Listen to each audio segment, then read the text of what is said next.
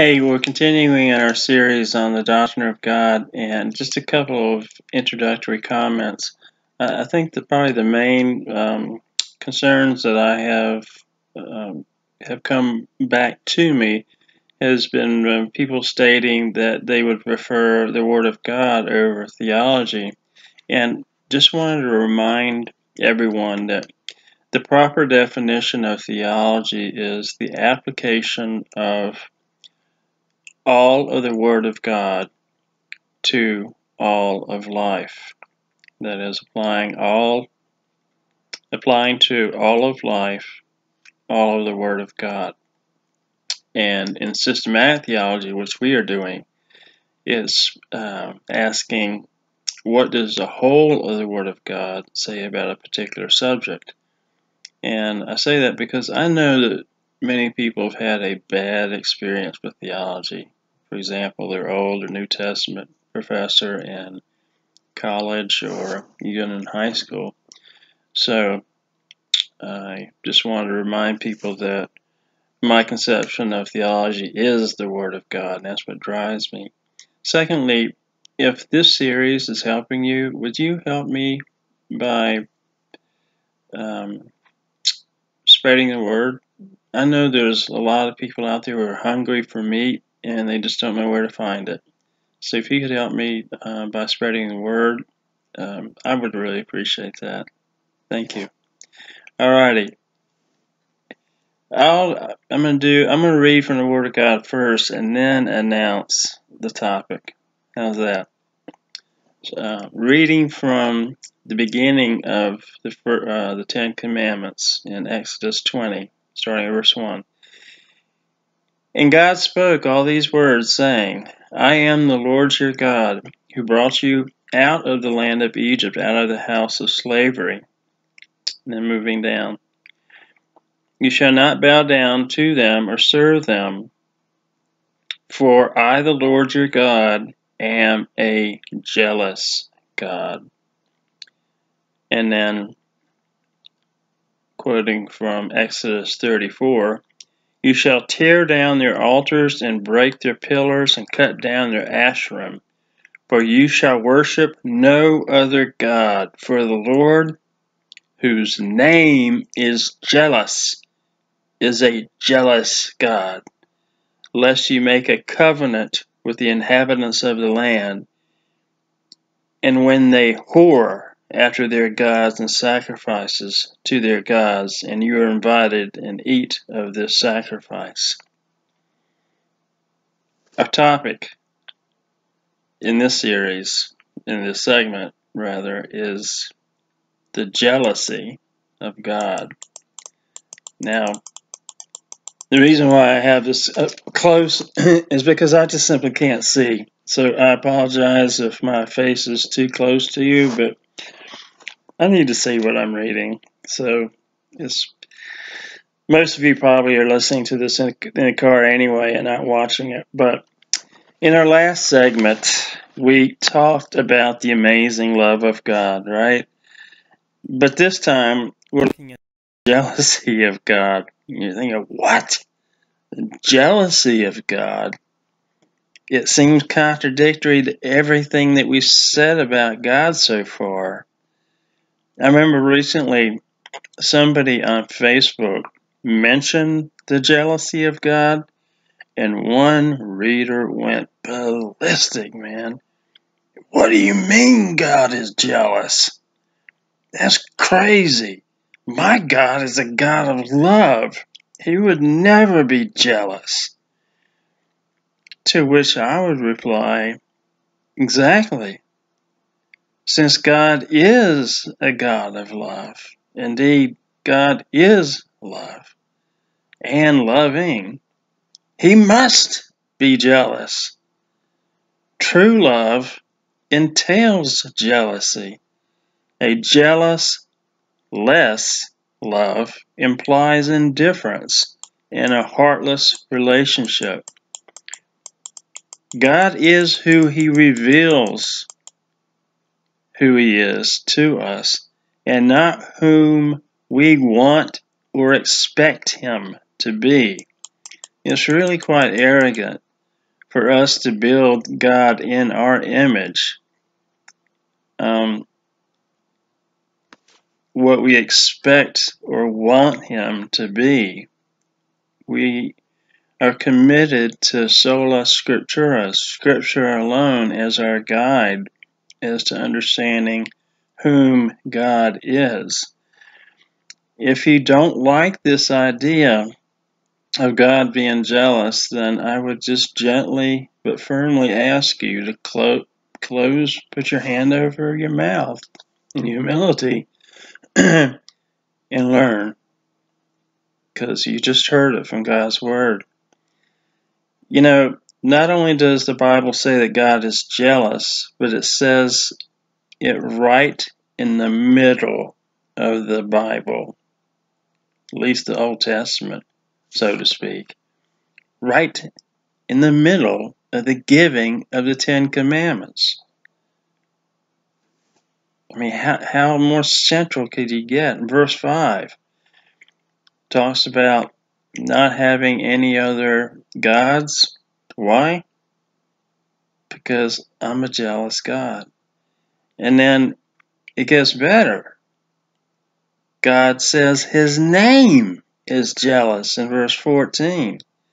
His very name is jealous. I can't think, now correct me if I'm wrong, but I can't think of another attribute of God that he explicitly confirms as his very name. Says, You want to know who I am? My name is jealous. Now, I realize that he says to Moses, you know, what is your name? Is Yahweh. That is his covenantal name. But as far as like attributes, I, I can't think of any other attributes where they, it actually says this is his name. So obviously, God Himself is putting, by way of stating that it's His name, and then the very fact that its placement at the at the beginning of the constitution of the covenant, the Ten Commandments, which is the heart of the Constitution, God's moral law to His people today as well, um, says He is jealous. So that's something that I know has really been overlooked. In fact, very little is said about this attribute of jealousy. Um, for those of you who are familiar with uh, theology, uh, one of the most well known theological textbooks is um, Louis Berkhof's Systematic. And in, in his otherwise excellent systematic theology, he doesn't even mention this attribute of God. And neither does Oliver Buswell, who was connected with Covenant Seminary. Now, Wayne Grudem, who has an excellent um, systematic, as well as John Frame, who both of these guys I would uh, recommend very highly, um, especially Frame. I mean, they're both great, but um, they're they both have short but succinct treatments of it. But it, it's like I said, it's short. So it's amazing how little literature there is on the topic of God's jealousy, um, how little there is compared to obviously how important, how much uh, significance God Himself places on His His jealousy, but that the Lord would connect it intimately with the giving of the Ten Commandments and call His name jealous indicates that to God anyway, it is a vital trait of His character. It is the passionate face of God's love.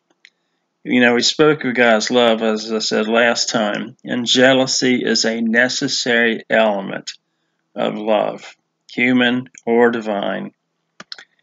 It shows how intensely personal God's love is for us. Um, he's his love is not like a divine rock or an immovable mover of Aristotle. God is in, he's intensely um, Trinitarian, personal, in um, the way he interacts with us. In every context in which jealousy is mentioned, the jealousy of God, it is concerned with his covenant people committing idolatry, worshiping other false gods. Every single time. And idolatry to God is not just some theological aberration, but it's spiritual adultery with all that that entails. And God's emotions are infinite.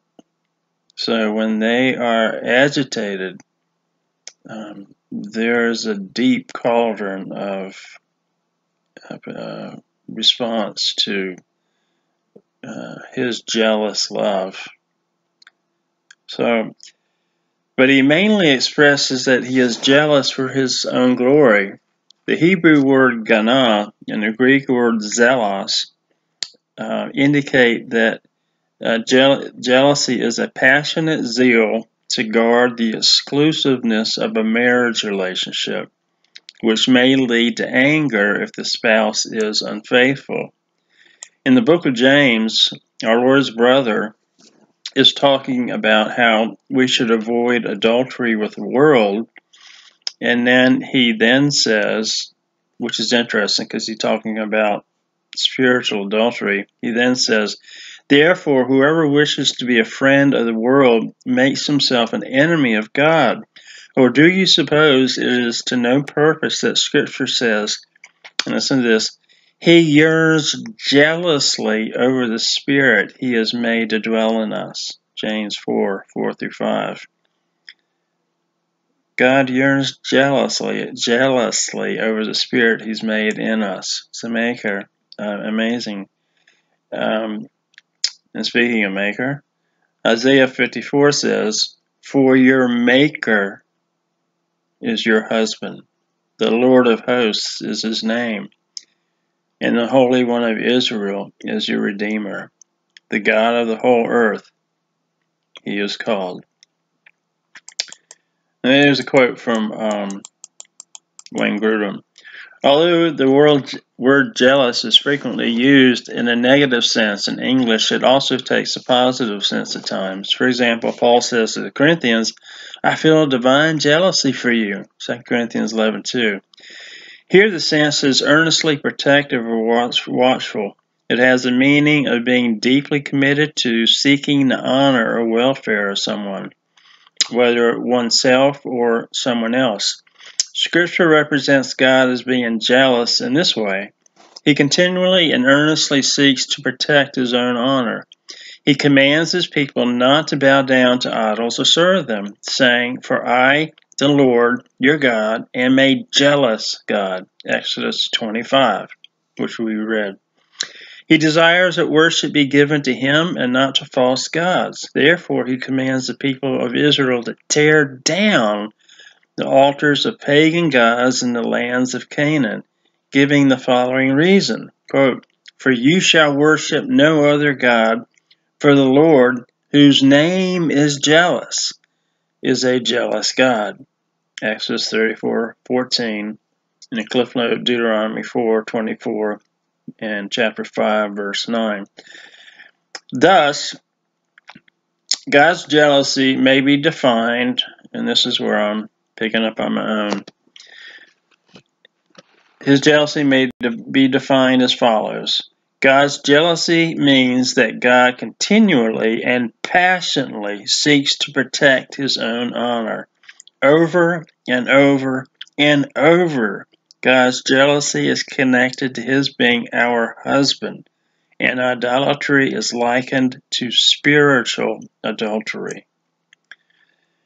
Divine jealousy is angry love, not murderous rage like we're familiar with, but righteous, angry love over a lover who has spurned him. The covenant with God is like marriage, or I really should say it's the reverse. Human marriage is like our covenant with God. That's the argument in um, Ephesians 5.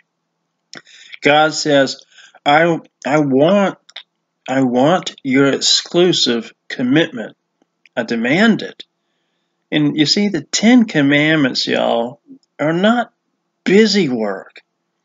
They are expressions of covenant fidelity, exclusive loyalty to a jealous God. First, this jealousy is in relation to himself, as we saw. People sometimes have trouble thinking that jealousy is a desirable attribute in God. This is because jealousy for our honor as human beings is almost always wrong. We are not to be proud but humble, yet we must realize that the reason pride is wrong is a theological reason. It is that we do not deserve the honor that belongs to God alone. 1 Corinthians 4 7, Revelations 4 11. It is not wrong for God to seek his own honor. However, for he deserves it fully. In fact, it's, it's, it'd be wrong for him to not seek his own honor. God freely admits that his actions in creation and redemption are done for his own honor. Speaking of his decision to withhold judgment from his people, God says in Isaiah, for my own sake, for my own sake, I do it. My glory I will not give to another. Isaiah 48:11. It is healthy for us spiritually when we settle in our hearts the fact that God deserves all honor and glory from his creation and that it is right for him to seek this honor. He alone is infinitely worthy of being praised. To realize this fact and to delight in, in it is to find the secret of true worship. God's jealousy is related to our relationship with Him. The two are connected because through our actions we can either acknowledge God's glory or not. When God says, I am the Lord your God, at the beginning of the Ten Commandments. That is a language of covenant commitment, like marriage. If you're married, there are good things that may provoke to jealousy, may provoke your spouse to jealousy. It might be your golf game, it might be fishing, your time with the girls, ministry, busyness, the kids, that you fill in the blank. Coming before the spouse. Okay? Any of these good things may rightly cause a godly jealousy in a spouse. Anything that takes away from exclusive priority you would be right to gently confront your spouse about not making your relationship a top priority. Right? Well, the same thing, much more so, with God. He insists on being priority one. God as Lord demands that He be first in our affections. The context for all discussions of God's jealousy, as I mentioned, is idolatry. Either thinking back to the gods of Egypt or being corrupted by the filthy gods of Canaan. God's jealousy is angry and confrontive, but it continues to be loving. He demands that he be priority one. That's the whole point of the first three or four commandments, if not all ten of them, but especially the first four. Which is again interesting and instructive that talking about his jealousy is right there in, in the midst of the his discussion of of uh, idolatry. What is a, what is a great commandment? that summarizes the entire Bible. You know what it is. That big, thick book that, that we read, several thousand pages, can be summarized. Love God with all of your heart, soul, mind, and strength. That's it. Your neighbor as yourself. But first, loving God with all of your being. Priority one. You know, idols are not just metal, but mental as well. True for us today. I don't see too many. I know they're there, but uh, most of our idols are mental.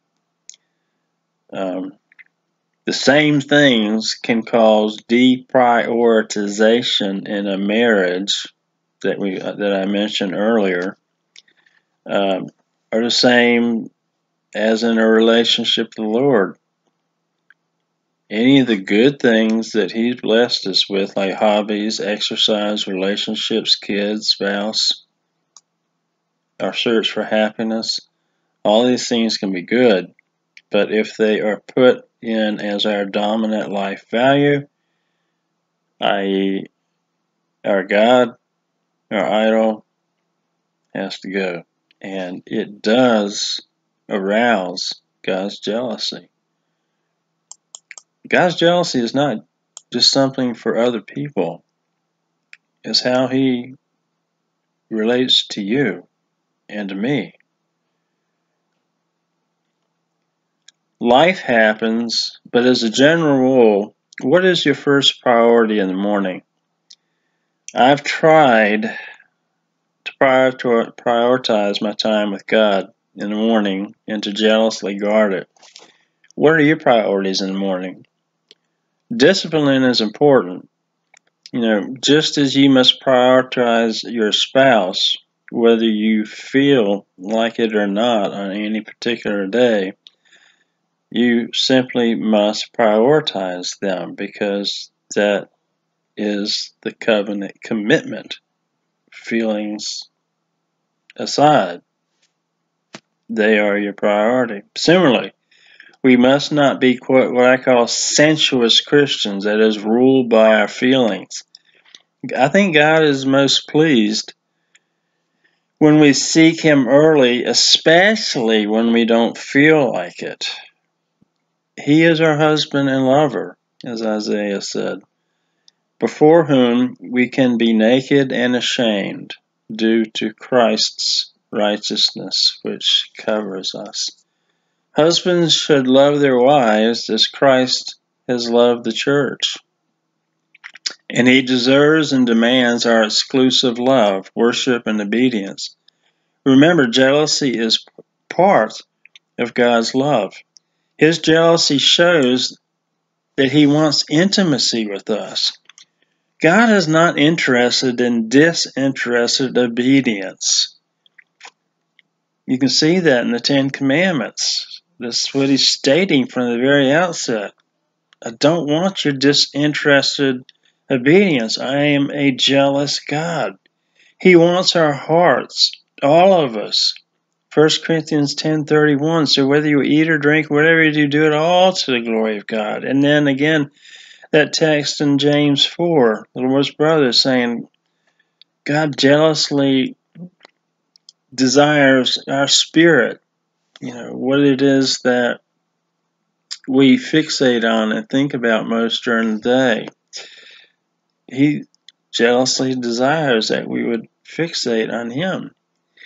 You know, few things in a marriage can cause more pain and anguish than infidelity.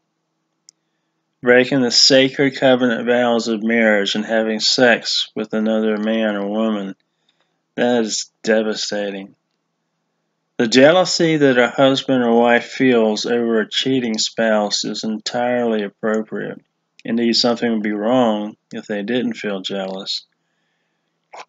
It, it must not turn into a murderous rage, but those of us who have experienced know the horror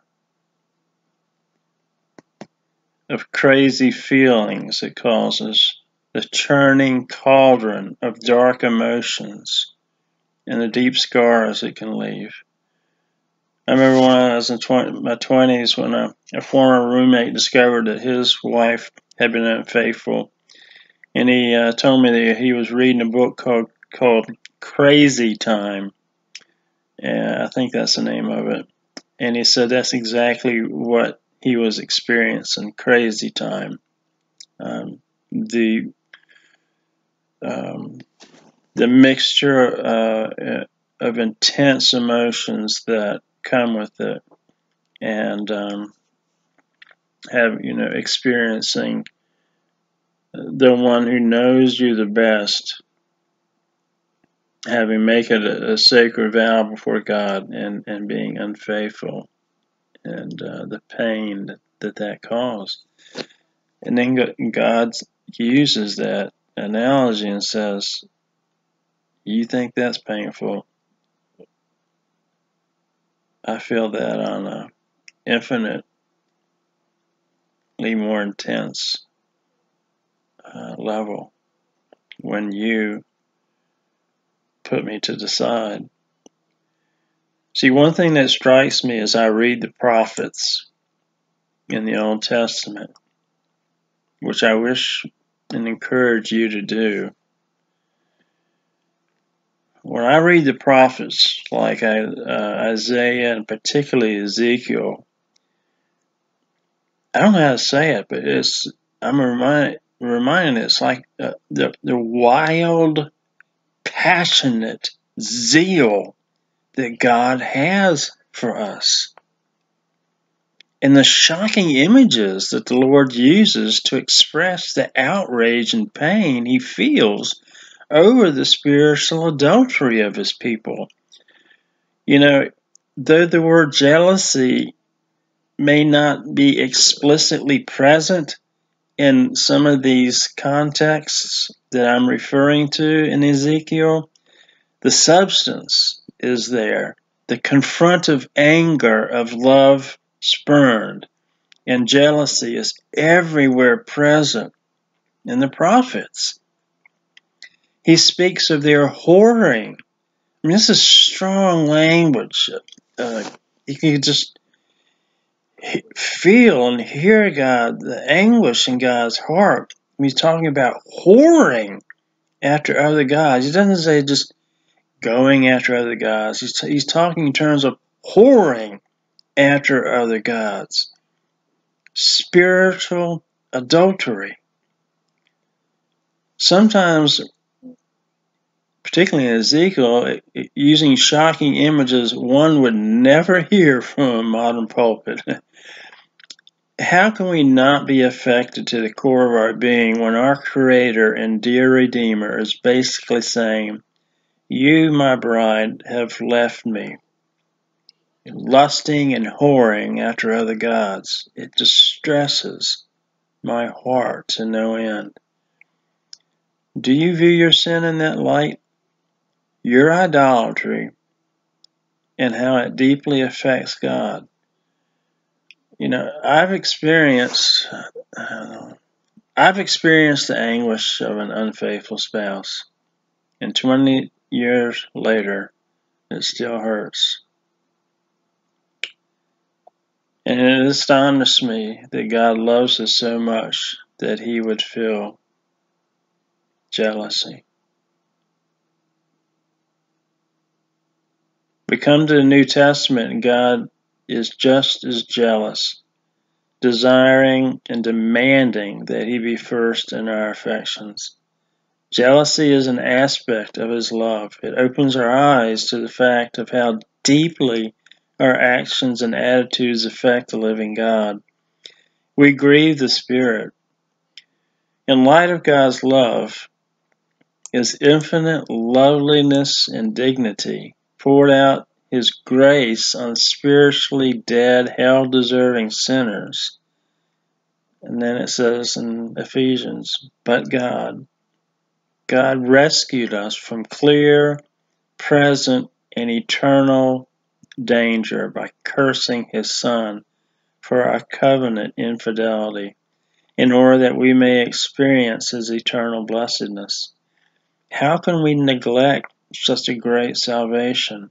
It was God's jealousy that provoked him to earnestly seek out his wayward bride and cleanse her. See, godly jealousy will not stand by while the beloved is in distress, even if it's self caused. For God's glory is bound up with the welfare of his bride. That's how he has ordained it to be. And God is most glorified in us when we are most satisfied in him, as Dr. John Piper puts it. Or to state it another way, God is most glorified through our enjoyment of him. I'll say that again. God is glorified through our enjoyment of Him. Shorter Catechism says that the chief end of man is to glorify God and to enjoy Him forever. And the way I would put it is to say that God is glorified through our enjoyment of Him.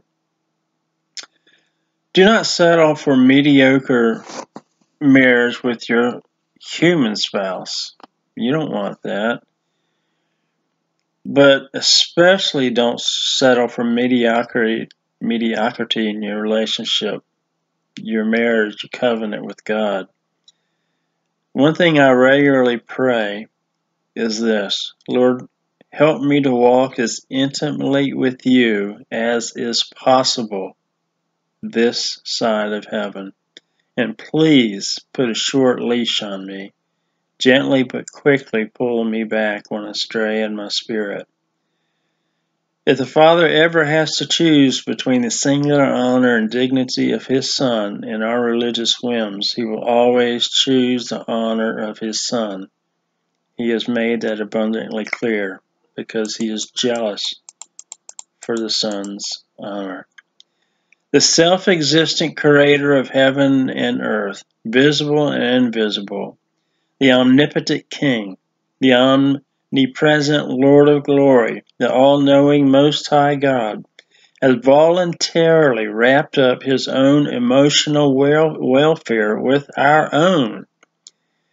How we think, act, and speak truly affects the affections or emotional life of the Trinity.